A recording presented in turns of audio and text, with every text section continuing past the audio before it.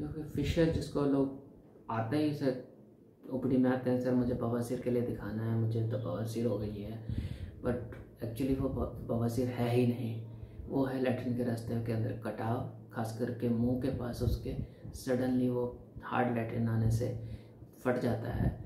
और वो फटने के बाद, वो रगड़ खाने के कारण, वो रास्ता थोड़ा बार बार फटने के कारण छोटा होता जाता है। और कभी कभी एक दो बूंद खून गिरती है, जिसको वो खून की बूंद को देख के आदमी समझता है कि ये बवासीर है बट एक्चुअली वो अंदर से फटा हुआ है। फिशर के अंदर काफ़ी ज़्यादा पेनफुल होता है। और फिशर की कॉमनेस्ट मेजर मेजर प्रॉब्लम यही है कि फिशर अंदर ही अंदर फटता रहता है और वो फिस्टुला का जन्म देता है पगंदर को जन्म देता है, जिसको नासूर भी बुलाया गया है, जिसको लाइलाज बीमारी भी बोलते हैं बट इसका फिस्टुला का इलाज है। बट अगर किसी को फिशर है अंदर कटाव है, दर्द हो रही है बॉडी में तो सिर्फ़ दवाइयाँ आराम नहीं देंगी। कुछ देर तक आप दवाइयाँ खा के या लगा के आराम कर सकते हो। बट दवाइयों से क्या होता है कि अगर सपोजिंगली ये रास्ता यहाँ पे किसी जगह पे फटा हुआ है, मैंने उसके ऊपर जैलोकेन जेली लगा दी, मैंने उसको सुन्न करने वाली दवाइयाँ लगा दी, या मैंने गोलियाँ खा ली, जिससे वो एरिया दर्द कम होता रहा।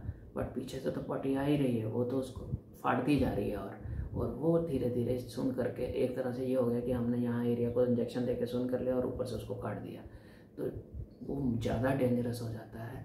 तो दवाइयाँ लगाने की दवाइयाँ या ज़्यादा पेन किलर फिशर की प्रॉब्लम प्रॉब्लम में लेना is not a good idea अगर वो फिशर है, अंदर से फटना शुरू हुआ है तो उसको टाइमली अगर सर्जरी करके जहाँ जहाँ कटाव है, रास्ते में जहाँ प्रॉब्लम है, उसको ठीक कर दिया जाए तो बहुत सारे केसेस जो फिशर से फिस्टुला में कन्वर्ट होते हैं, या जिनसे फिशर में फिशर के कारण ग्रेजुअली बवासीर डेवलप होती है, वो सब बच सकते हैं।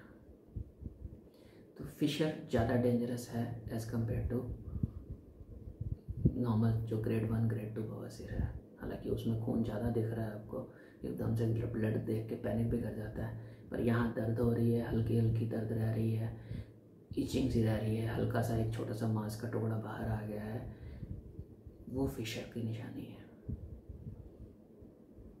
फिशर का इलाज टाइमली इलाज बहुत ज़रूरी है to prevent it from becoming a complex fistula और अगर हज़ार केस मेरे पास फिस्टुला के आते हैं तो 900 से ज़्यादा पेशेंट्स के अंदर एक ही सिम्टम है कि सर, पहले फिशर की प्रॉब्लम थी।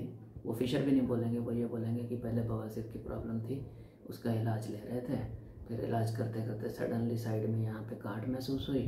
फिर गांठ बन के अचानक से फट गई। किसी को वैसे ही फट गई, किसी को खून आया, बस आई और तब जाके फटी, किसी को बुखार भी आ गया और कई लोगों की खुद ब खुद नहीं फटी, उन्हें फिर बाद में चीरा लेके, चीरे का चीरा लिया इमरजेंसी में एब्सेस बता के उसका चीरा लिया, तब जाके वो, जो गांठ रिजॉल्व हुई, तब जाके दर्द में आराम हुआ। बट ये सब चीज़ें अगर फिशर टाइमली आइडेंटिफाई करके उसका ट्रीटमेंट कर दिया जाए तो वो ठीक हो सकती है।